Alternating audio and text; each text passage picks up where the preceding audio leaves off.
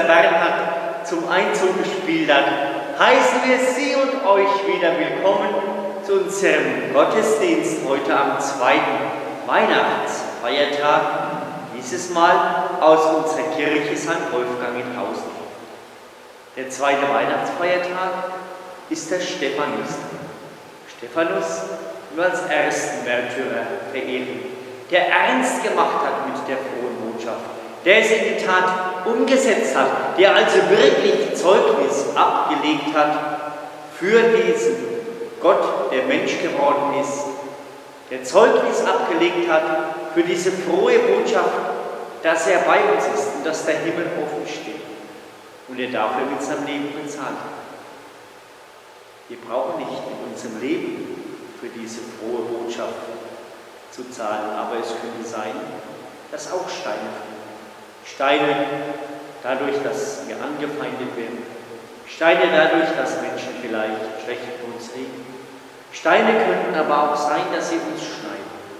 Aber wir sollten dennoch als Christen, wie Stephanus, diese weihnachtliche Botschaft hineintragen in die ganze so lasst uns diesen Gottesdienst miteinander beginnen, im Namen unseres gütigen, unseres menschgewordenen Gottes.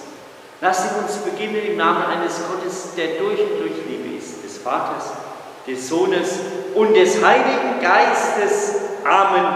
Der Herr, unser Gott, der Mensch geworden ist, einer von uns, er sei alle Zeit mit euch und mit deinem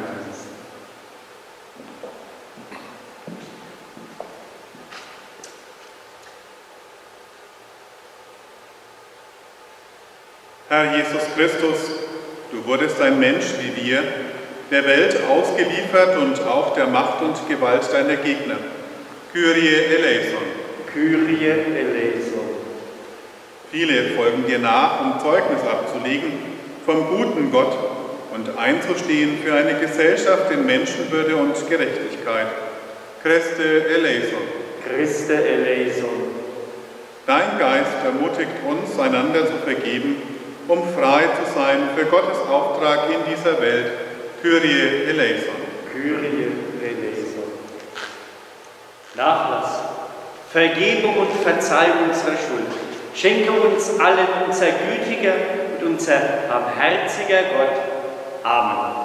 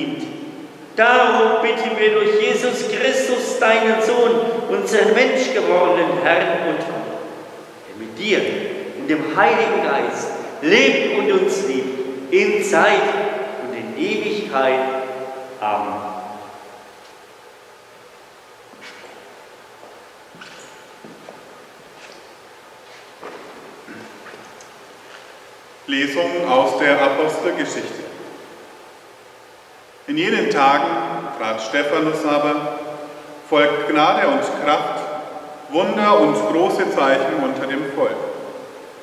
Doch einige von der sogenannten Synagoge der Libertiner und Kyrenäer und Alexandriner und Leute aus Kilikien und der Provinz Asien erhoben sich, um mit Stephanus zu streiten. Aber sie konnten der Weisheit und dem Geist, mit dem er sprach, nicht widerstehen. Als sie seine Rede hörten, waren sie in ihren Herzen aufs äußerste über ihn empört und knirschten mit den Zähnen gegen ihn.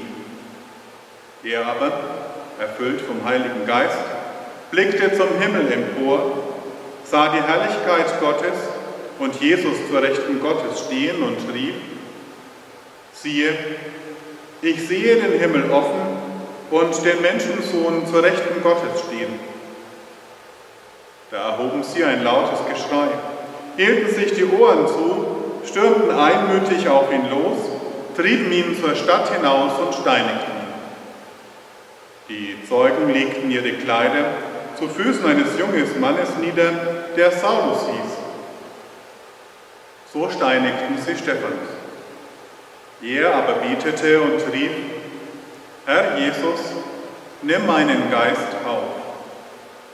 Dann sank er in die Knie und schrie laut, Herr, rechne ihnen diese Sünde nicht an. Nach diesen Worten starb er. Wort des lebendigen Gottes. Dank sei Gott.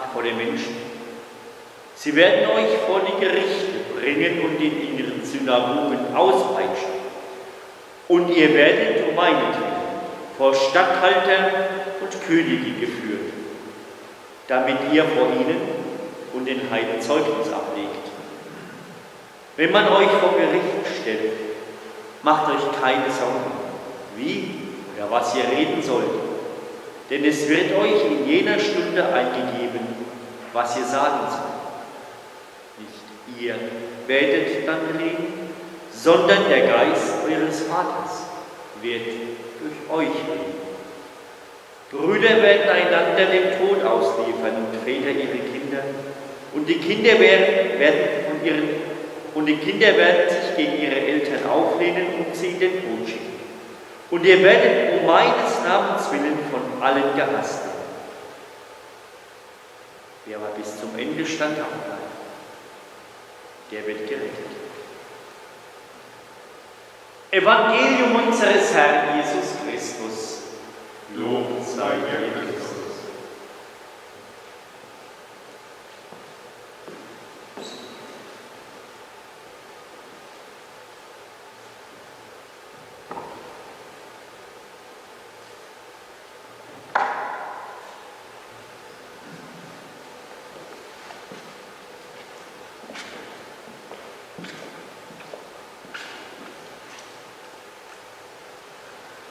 Wenn ich Stephanus hieße, würde ich meinem Namenspatron alle Ehre machen.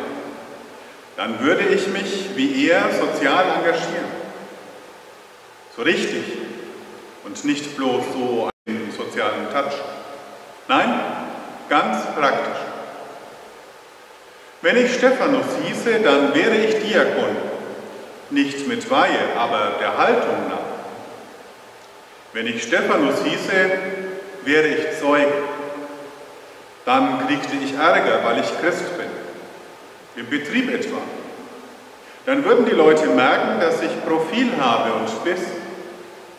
Dass ich nicht alles mitmache. Dass es irgendwo Grenzen gibt für mich. Von meinen Werten her. Und ich würde kein Hehl draus machen, warum? Weil ich Christ bin, würde ich sagen. Auch wenn sie mich dann mitleidig belächeln oder mich nicht mehr einladen zu ihrer Silvesterfete. Oder wenn sie mich bei der Beförderung überschlagen. Das nehme ich in Kauf. Da hätte ich meinen Stolz. Auch wenn sie Steine werfen würden, dann erst recht. Ich würde nicht umkippen. Ich bliebe ein Zeuge.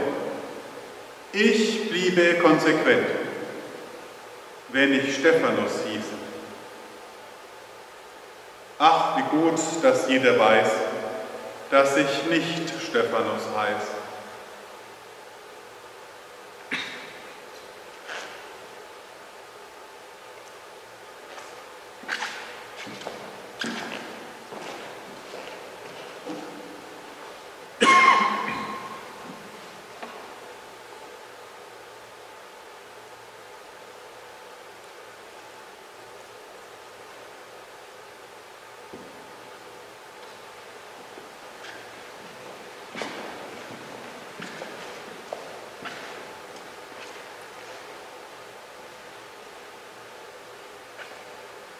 Bruder Jesus Christus, dein Evangelium bewirkt, dass wir uns dir anvertrauen dürfen und uns in Gottes Schutz wissen.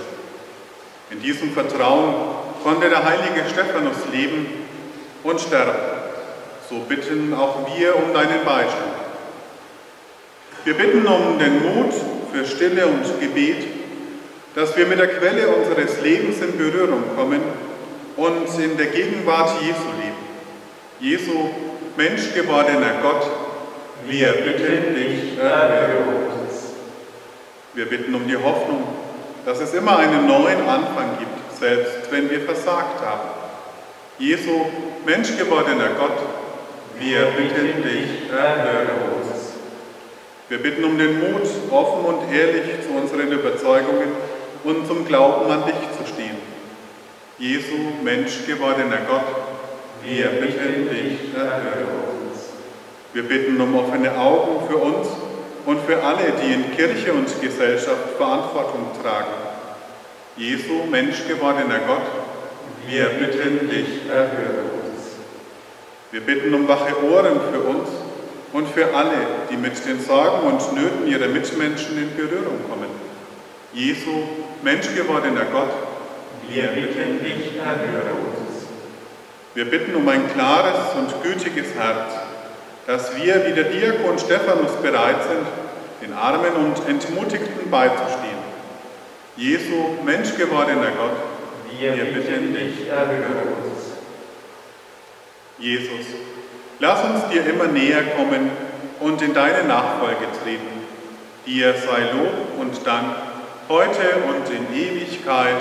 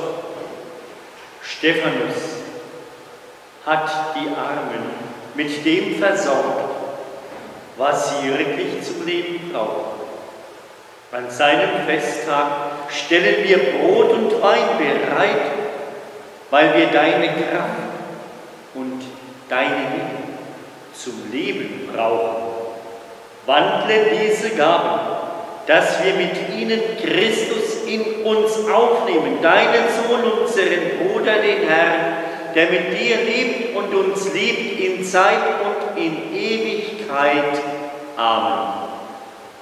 Der Herr sei mit euch und mit deinem Geiste. Erhebet die Herzen.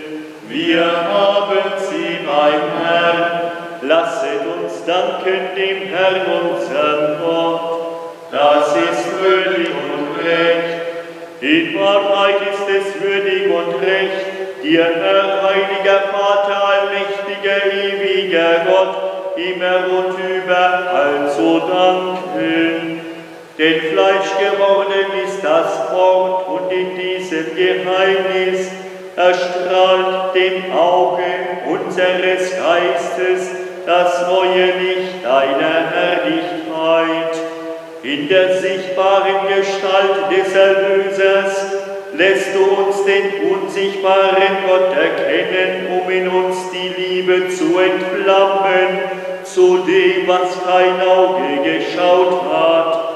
Darum singen wir mit den Engeln und Erzengeln, den Thronen und Mächten und mit all den Scharen des himmlischen Heeres den Hochgesang von deiner Herrlichkeit.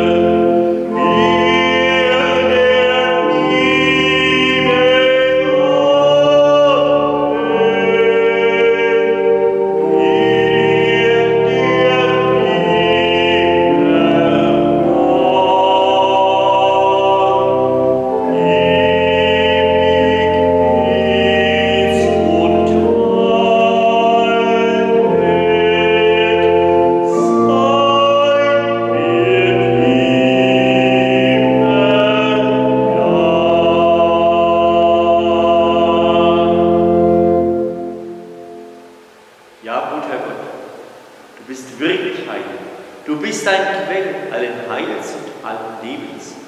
Darum haben wir uns miteinander versammelt, um den Gottesdienst zu feiern und an Christus zu denken, der Mensch geworden ist an einem Kind in der Kirche. Durch ihn, den du zu deiner Rechten erhöht hast, bitte wir dich. Sende deinen Geist auf unsere Gaben herab und heilige sie, damit sie für uns werden. Leib und Blut deines Sohnes, unseres Herrn Jesus Christus.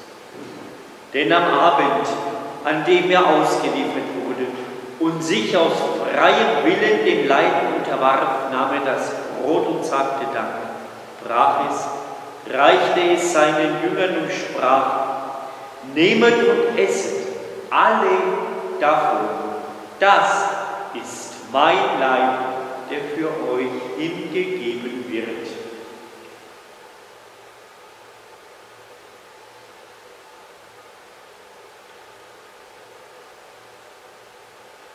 Ebenso nahm er nach dem Mal den Kelch und dankte noch einmal, reichte ihn seinen Jüngern und sprach, Nehmet und trinket alle daraus.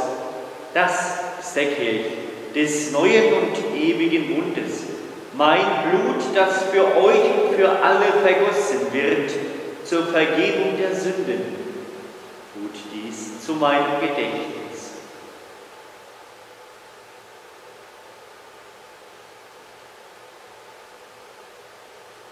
Geheimnis des Glaubens, deinen Tod, Herr, verkünden wir und deine Auferstehung preisen wir, bis du kommst in Herrlichkeit. Darum, guter Gott, feiern wir das Gedächtnis des Todes und der Auferstehung deines Sohnes. Und wir bringen dir so das Brot des Lebens und den Kelch des Heiles dar. Wir danken dir, dass du uns berufen hast, vor dir zu stehen und dir zu dienen und bitten dich. Schenke uns Anteil an Christi Leib und Blut und lass uns eins werden durch den Heiligen Geist. Gedenke deiner Kirche auf der ganzen Erde und vollende alle Menschen in Einheit und Liebe. Deine Diener, unseren Papst Franziskus, unsere Bischöfe Ludwig und Erwin und alle Bischöfe, unsere Priester und Diakonen, unsere Frauen und Männer, unsere Jugendlichen und Kinder, die zum Dienst der Kirche bereit sind Erbarme dich aber auch unserer Schwestern und Brüder, die gestorben sind, in der Hoffnung, dass sie zum Leben auferstehen. Heute wollen wir in unserem Gottesdienst in ganz besonderer Weise beten für alle Verstorbenen der Familie Ismail. Wir wollen beten für Vitus Ismail und Angehörige, für Annemarie, Georg, Christine, Sebastian und Doris Heilig. Und wir wollen beten für Barbara und Franz Dötzer. Nimm sie und alle unsere Verstorbenen auf in dein Reich, damit sie dich von Angesicht zu Angesicht schauen können. Erbarme dich aber auch über uns, guter Gott, damit auch uns das ewige Leben zuteil wird in der Gemeinschaft mit der seligen Jungfrau und Gottesmutter Maria, deiner Apostel und mit allen, die bei dir Gnade gefunden haben, von Anbeginn der Welt, dass wir dich loben und preisen durch deinen Sohn Jesus Christus.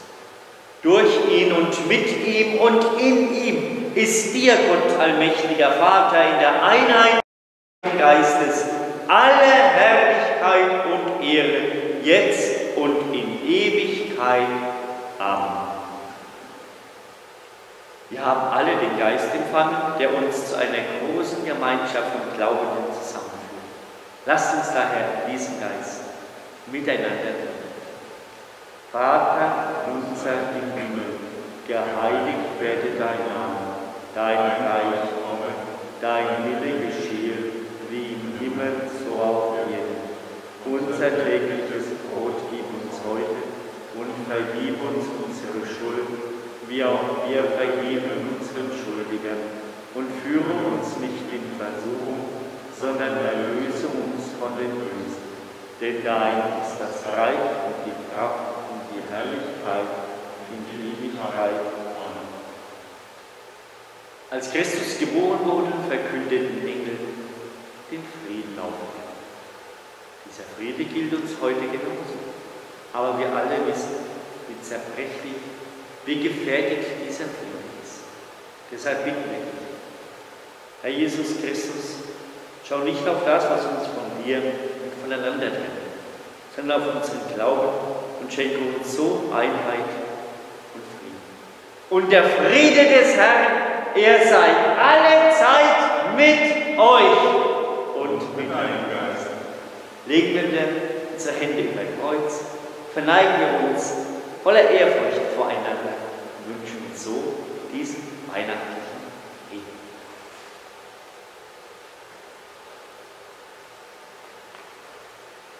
Lamm Gottes, du nimmst hinweg die Sünde der Welt, erbarme dich unser. Lamm Gottes, du nimmst hinweg die Sünde der Welt, erbarme dich unser. Lamm Gottes, du nimmst hinweg die Sünde der Welt, gib uns deinen Frieden. Und so seht, das ist nun Christus, das Lamm Gottes, das unsere Schuld hinweg. Herr, ich bin nicht würdig, dass du eingehst unter mein Gott aber sprich nur ein Wort, so wird meine Seele gesund.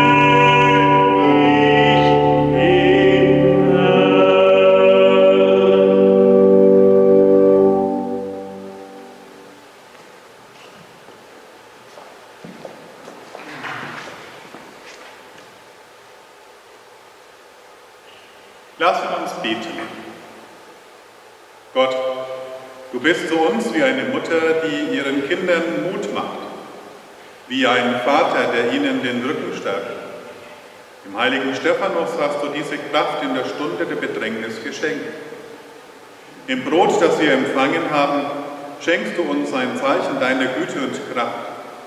So vertrauen wir, dass wir in deiner Obhut sind, wenn wir von den Sorgen und Gefahren des Alltags bedrängt werden.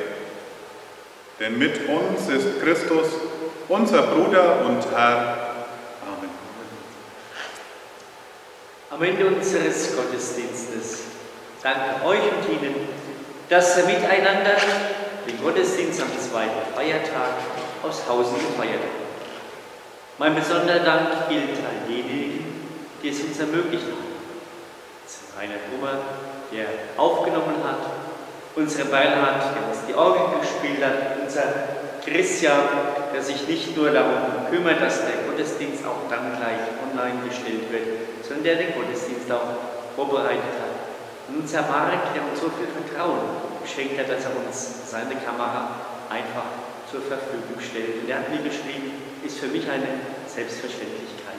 Ich danke euch ganz, ganz herzlich für euren Einsatz.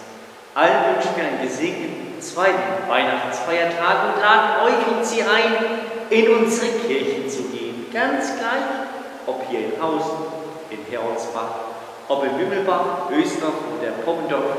Sie sind alle weihnachtlich geschmückt und laden Sie und euch ein, ein wenig ihnen zu verweilen und zu staunen über das Weihnachtswunder, das Gott wirklich Mensch geworden ist.